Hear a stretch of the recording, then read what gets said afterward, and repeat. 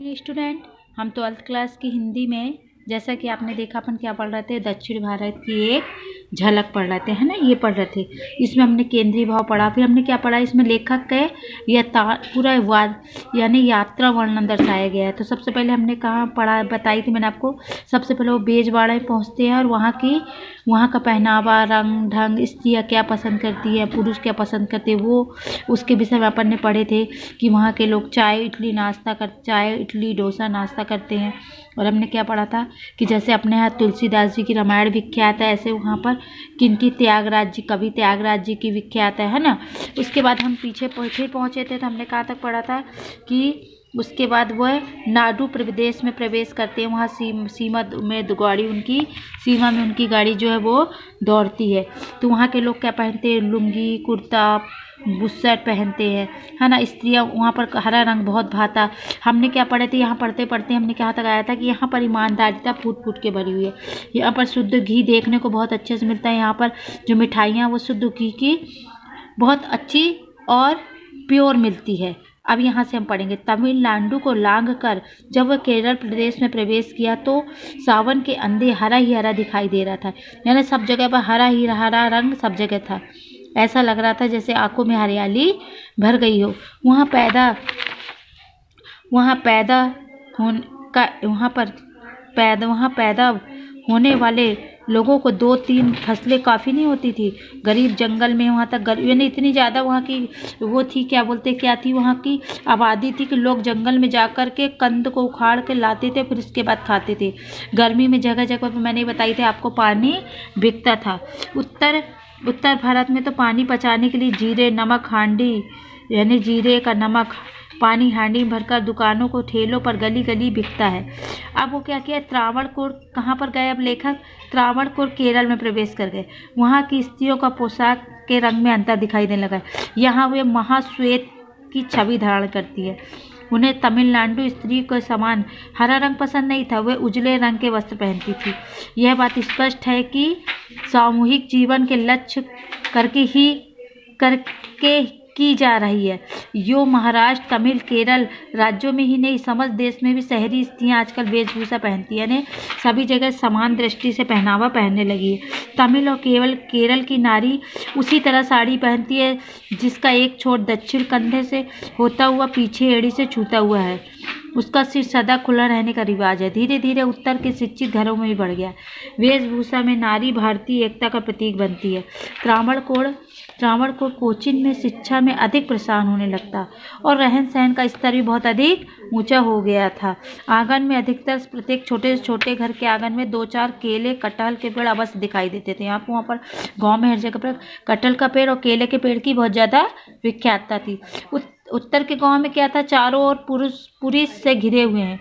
वहाँ के केरल के गाँव में गली गली स्वच्छता दिखाई देती है ना साफ़ सुथरा है और बिजली भी जगमगाती हुई दिखाई देती है। वहाँ तक ऐसा है कि पोस्ट ऑफ़िस, छोटा सा दरवाज़ा और स्कूल बिना गाँव के तो बसते ही नहीं। जगह जगह पर शिक्षा का इतना प्रचार है कि जगह जगह पर स्कूल है जगह जगह पर आपको समझदार लोग मिलेंगे। यानी इतना अधिक प्रचार है। हिंदी का तो बहुत अधिक प्रचार है। वहाँ के अधिकतर शिक्षित परिवारों में कन्या संगीत चित्रकला, नृत्य आदि की भी वहाँ पर शिक्षा दी जाती है। बिना हिंदी सीखे वह सुसंस्कृत नहीं समझती। यानी बिना हिंदी सीखे उसको समझदार नहीं समझते। यानी हिंदी सीखना बहुत ज़रूरी वहाँ पर। विवाह के समय पिता अपने भा, दामाद या भावी समझी से क्या कहता है? ना भाभी मतलब होने वाले समझी से क्या कहता है कि संगीत, चित्रकला के अलावा मेरी लड़की हिंदी भी जानती है। मतलब हिंदी का इतना प्रसार है। त्रावणकोर विश्वविद्यालय में प्रतिवर्ष इंटरमीडिएट में लगभग छः हज़ार लड़के या लड़कियाँ परीक्षा दे करके परीक्षा देने बैठते हैं और परीक्षा के लिए हिंदी विषय को वहाँ पर अनिवार्य रूप से मानी गई। जबकि वहाँ क्या है केरल का क्षेत्र फिर भी वहाँ हिंदी विषय के इतना प्रसिद्ध है। त्रिवेंद्र त्रि, अब अब कहाँ पहुँचा वो? त्रिवेंद्र। से कन्याकुमारी की यात्रा उसके लिए बहुत रोचक थी। त्रिवेंद्र के बाज़ारों में तो बहुत ज़्यादा आकर्षक था। स्त्री या पुरुष नंगे पैर चलाई, चलते हुए दिखाई देते हैं, क्योंकि अधिकतर बारह बारह महीने में वहाँ पर बरसात होती रहती, बूंदाबांदी होती रहती है। इसलिए कीचड़ से बचने के लिए वहाँ के लोग क्या करते हैं? नंगे पाँव चलते हैं। विश्वविद्यालय के कार्य में निवृत्त होने से पहले मैंने समुद्र दर्शन की इच्छा व्यक्त की। अब चंद्रहासन वैलायु के साथ हम हवाई अड्डे को छूते हुए समुद्र तट पर पहुँच गए। वहाँ समुद्र इतना उग्र था, यानी बहुत ज़्यादा वो ऊपर उठ रहा था और इतनी आवाज़ कर रहा था कि सामने छो, दूर की लहरें भी छोटी मोटी किश्तियाँ दिखाई नहीं दे रही थी। छोटी छोटी सी दिखाई दे रही थी और एक के बाद उठती जा रही थी। पहाड़ सा बना रही थी, ऊपर जा रही थी, फिर नीचे हो रही थी ऊपर जा जब लहर मारता ना वैसे हो रही थी। दौड़ते, लहरें दौड़ती हुई जा रही थी। हमारे पैरों को छूकर, वो वहाँ खड़ा था लेखक समुद्र के किनारे। तो वहाँ क्या हो रहा था? जो लहरें थी, वो पैरों को छूकर आती, छूती थी और फिर पीछे की ओर चली जाती थी। और वो हमें बहाना चाहती थी, यानी वैसे चाह रही थी जैसे हमारे पैर को उखाड़ कर अपने साथ ले जाना चाहती परंतु हमने ही पैर ऐसे जमाए हुए थे कि लहरों छोड़कर हमको भाग गई। हमारे पैर गीले गीले पैर पानी से दूर डूब गए और लहरें अब नहीं आएँगी। ही छड़ों में फिर टकरा कर एक झोंका आया और पैरों को बिरक बिखर कर हमें पुनः घेर कर पीछे और तेज़ी से आगे दौड़ गया। हम लहरें लेने में अभ्यस्त हो गए पैर जमे रहते हैं। लहरें आती हैं और जाती अब हमको क्या हुआ? भय होना बंद हो गया। भय मतलब डर लगना उनको बंद हो गया लेखक को। उसके बाद देखो हम पेज नंबर सेवेंटी सिक्स का पढ़ रहे हैं। कुछ फ़सलें कुछ फ़सलें पर मछुआरे अपनी नौका लहरों में डाल रहे सॉरी कुछ फासले पर मछुआरे अपनी नौका लहरों में डाल रहे हैं। वह देखो दो मछुआरे, अपनी किश्ती लहरों में फेंक दी। वो भयंकर समुद्र में जाना चाहते। लहरें किश्ती को बार बार ऊपर नीचे कर रही हैं। लो, अब डूबे। मतलब उनको देख रहा था कि दूर से उनको किश्तियाँ दिखाई दे रही थी कि कैसे नाव चालक है जो कि अपनी किश्तियों को जाकर के लहरों के बीच में डुबा रहा पर ऐसा लग रहा था, अब डूबी, फिर ऊपर आ जा रही थी नाव, नौका। फिर नीचे जा रही थी तो घबरा रहे थे। ये ये उनको दृश्य देखते ही बन रहा था। परंतु जो मछुआरे थे वह सतह पर पुनः नौका देखे, खेते दिखाई दिए। प्रकृति पर पर विजय वो पा लिए थे। यानी मनुष्य वो ऐसे थे कि वो उस लहरों के सामने भी टिक जा रहे थे। वो डर नहीं रहे थे। उसके बाद में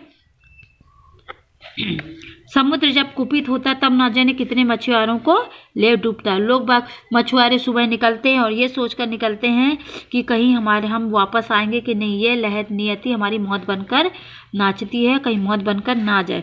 समुद्र दर्शन के पश्चात हम अजायब घर में गए। समुद्र जहाँ समुद्र की तरह तरह मछलियाँ, मछलियों, सर्पों, केकड़ों, कई प्राणियों को रखा गया था। कहा जाता है कि भारतीय मत्स्य संग्रहालय अपने ढंग का यहाँ का एक अनंत सैनम मंदिर देखने को कहा गया है। मंदिर में सिला हुआ वस्त्र या जूता पहनकर जाना निषिद्ध था। महिलाओं को साड़ी सिला हुआ वस्त्र न होने कारण वे मंदिर में प्रवेश पा सकती हैं। मंदिर में मूर्ति की विशालता की दर्शनी है। मैंने बहुत बड़ी विशाल मूर्ति है।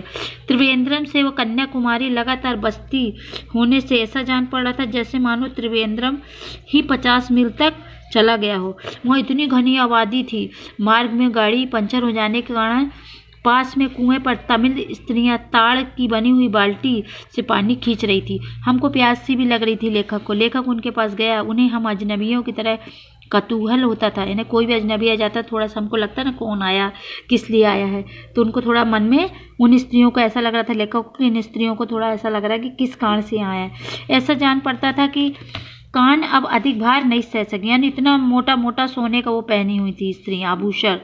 सम्राट परिवार की स्त्रियाँ हीरे, मोती, जवाहरात को काम में लाती हैं और सोना उनके लिए तो हल्की वस्तु, यानी हीरे, मोती, जवाहरात की वस्तुओं को पहनती। है सोना तो वो उनको हल्का समझती है। हम सूरज डूबने से पहले कन्याकुमारी पहुँच गए। समुद्र तीव्र तीर पर भव्य दृश्य देखकर आनंदित हो गए। तीन समुद्रों का मिलन हमारे हिंद सागर मतलब सम्मुख हिंद सागर दाई ओर और अरब सागर बाई ओर बंगाल की खाड़ी का जल उछल उछल कर तरंगित हो रहा था। यानी उनको, वहाँ पर हिंद महासागर में ये दृश्य देखने को प्राप्त हुआ। कई नर नारियाँ समुद्र सूर्यास्त को देखने के लिए वहाँ पर खड़े हुए थे, कई लोग।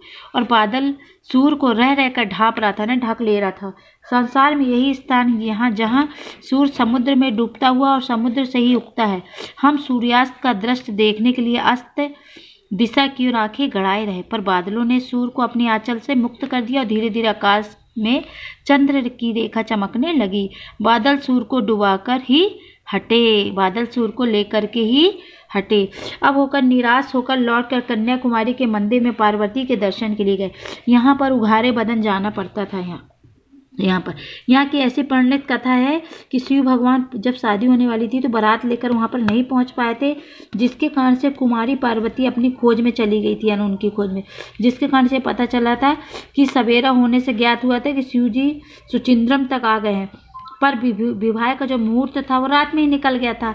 इसी कारण से पार्वती को उदास देकर निवासियों, सभी निवासी लोग थे, वो लौट आए थे। तभी से यहाँ पर कन्याकुमारी कन्याकुमारी के नाम से विख्यात हुआ और मंदिर, कहा जाता है कि कन्याकुमारी इस मंदिर में वास करती है माता पार्वती जी। मंदिर समुद्र के किनारे हैं, जहाँ समुद्र की शोभा बहुत सुंदर है। रात को दूर से आते हुए जहाज़ों का प्रकाश तैरता हुआ दीपक सजान पड़ता यानी दूर से जब आ रहे थे तुमको ऐसा लग रहा था जैसे कि जो जहाज़ तैर रहा था, वो छोटे से दीपक के भांति दिखाई दे रहा था। और भीतर काले पत्थर, विशाल हनुमान की मूर्ति है। यह मुख्यतः शिव मंदिर है। शिव की सजीव नदियाँ भी दर्शनीय हैं। मंदिर में प्रस्तर स्तंभ की विशेषता, उसे हाथ से ठोकने पर भी धीमी सुरीली की आवाज़ निकलती। सारा ग। यानी जब वो ठोकते हैं तो बहुत सुंदर ध्वनि निकलती है।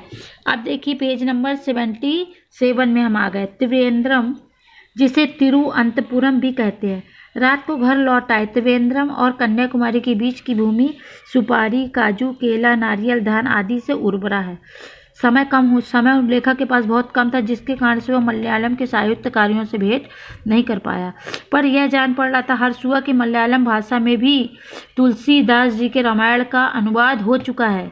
तुलसीदास जी का मलयालम भाषा में भी अनुवाद कर चुके हैं, वहाँ पर भी रामायण का रामायण मतलब बोली जाती है और साहित्य में, वहाँ पर मलयालम साहित्य में प्रगतिवाद की तरह भी लहर है। दूसरे दिन विश्राम करते हुए, अब वो कहाँ रवाना होंगे? मदुरा में रवाना होंगे। यहाँ तक का हमने पढ़ा बेटा, इसके बाद मदुरा के रवाने की जो यात्रा, उसको हम कल पढ़ेंगे। आज के लिए इतना। ओके बेटा, आज की वीडियो में इतना है। Good day and goodbye.